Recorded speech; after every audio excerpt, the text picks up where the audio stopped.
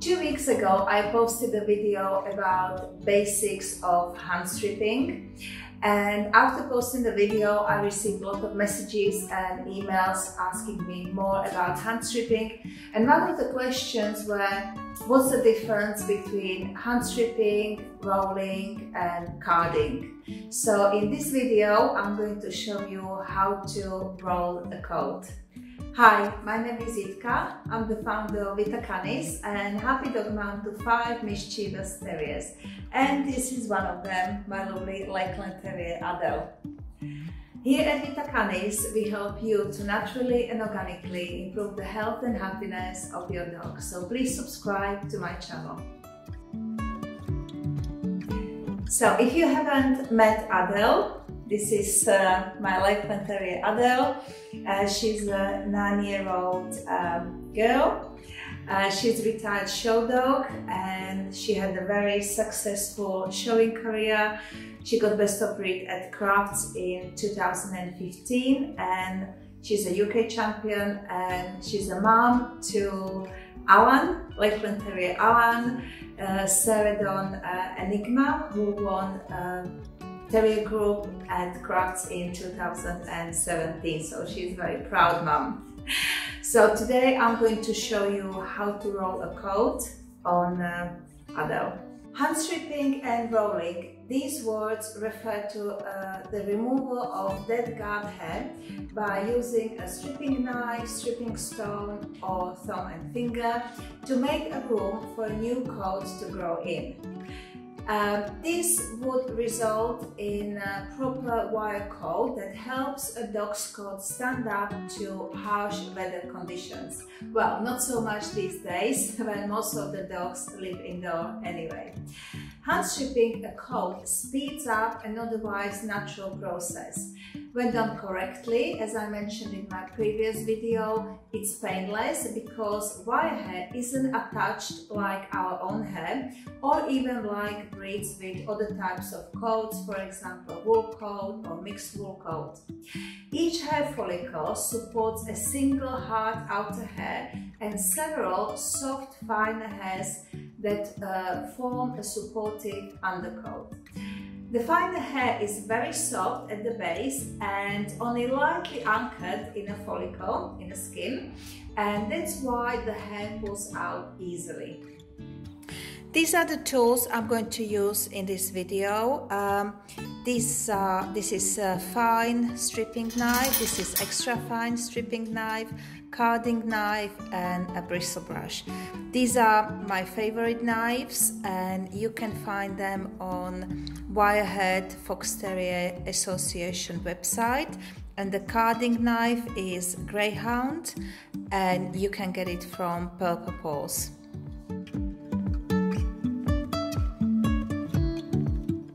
So Adele has been hand stripped uh, about two weeks ago uh, when I when I did my video, and you can see her coat is already quite long. She has really nice, dense, harsh coat with a soft uh, undercoat.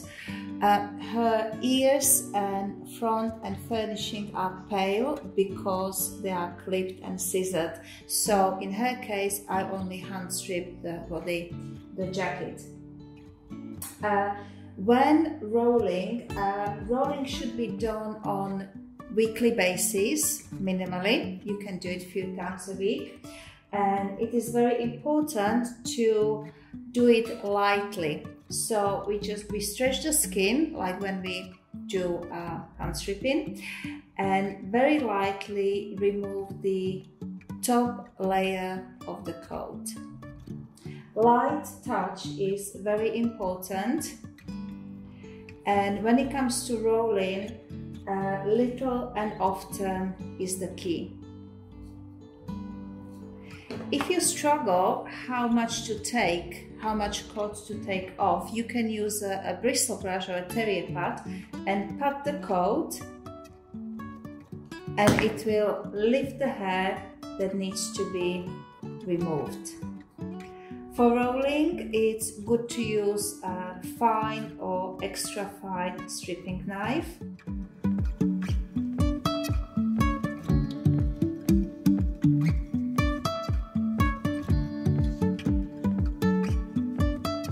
The finer hair, the undercoat, can be easily removed by carding. So simply said, carding is uh, the removal of dog's undercoat. For carding, uh, we use a carding knife and we, again, like with hand stripping, we stretch the skin and we gently kind of like comb the hair with the knife and we pull out the soft undercoat. If you're not, if you are not sure uh, what pressure to use, you can you can try it on your arm, so you, you're sure you're not gonna scratch the dog. So you um, hold the knife quite flat, like this, and try it. So it, it doesn't hurt. So you, do, you apply the same pressure on your dog's coat. Okay, so I'll show you again. Good girl. That's it, good girl. So we stretch the skin and just do a little bit at a time. Don't try to drag the, uh, the knife from the neck to the tail, just a little bit like this you can see how much undercoat we are removing I wouldn't recommend to do um, carding before hand stripping because sometimes if the dog doesn't have a new coat underneath and you remove the undercoat before hand stripping, you may end it up with a bald dog. So it's always better to remove undercoat after hand stripping.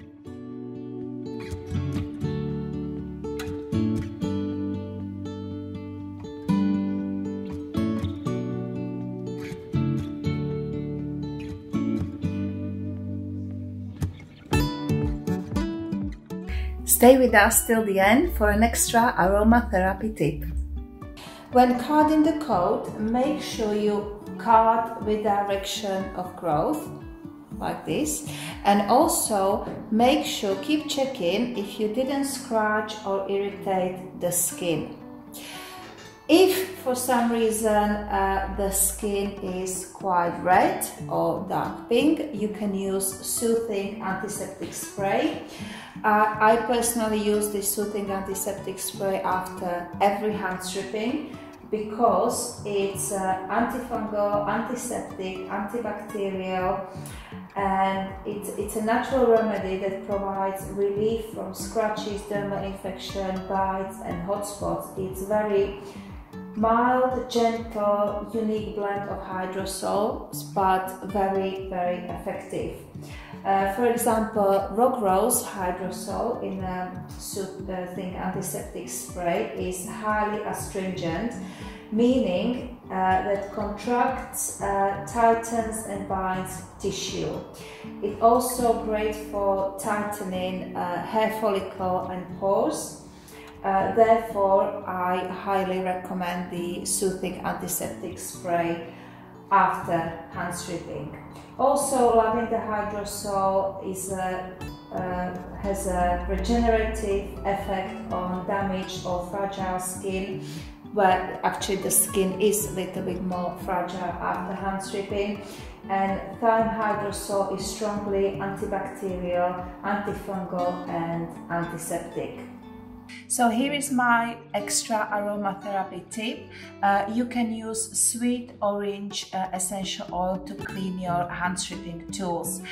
Uh, sweet orange uh, essential oil can be effective at stopping the growth of some types of bacteria and fungi and uh, also uh, it is um, safe to use in non-toxic, not irritating uh, non-sensitizing, uh, this oil is not considered to be phototoxic and is safe to use around dogs. So what you do, you just put a drop on a blade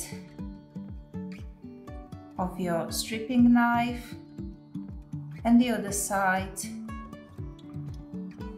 like this and then wipe with a clean cloth. So your tools will be not only clean but also smell beautiful.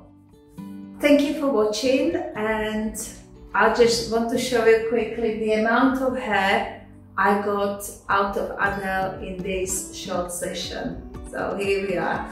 So again, thank you for watching and remember keep calm and keep aromatherapy.